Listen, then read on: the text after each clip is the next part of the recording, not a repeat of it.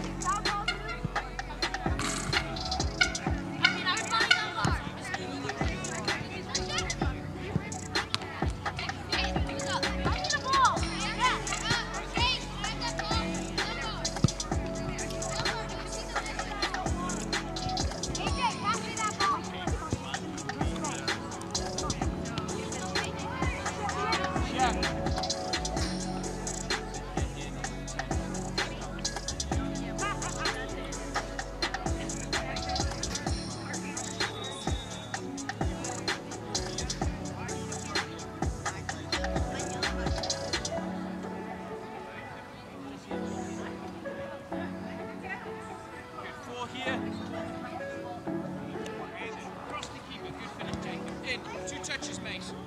Two.